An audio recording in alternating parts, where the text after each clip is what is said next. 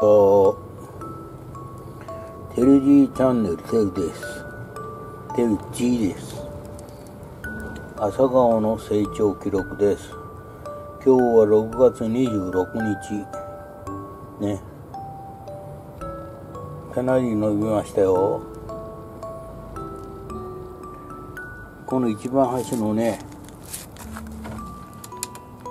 朝顔なんかね、ここまで伸びました。40センチぐらい伸びてますね。地面から。このこの朝顔もここまで伸びました。これで30センチぐらいですかね。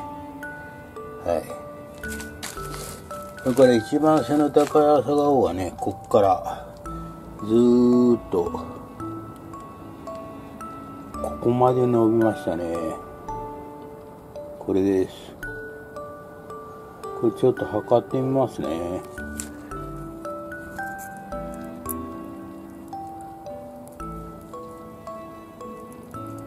はい。80センチぐらいですね。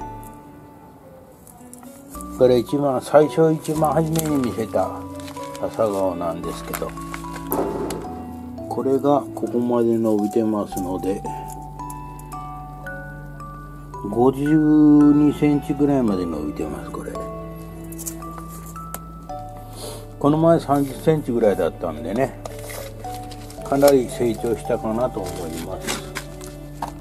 一番上がこれですね。かなり成長しております。昨日の夜ね雨が降ったんでね。またぐっと伸びたかなと思っております。今日の夕方ぐらいからねなんか台風来るみたいでね。まあここは北部九州なんでね。まあ大したことはないとは思いますけど。あのやっと北部九州もね梅雨入りしたっていうことでね。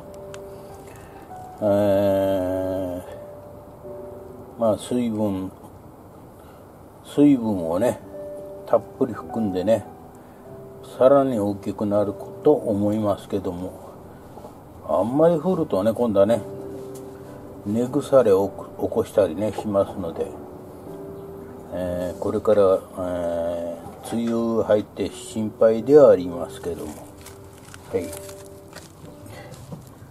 まあ今のところはね順調に育っております。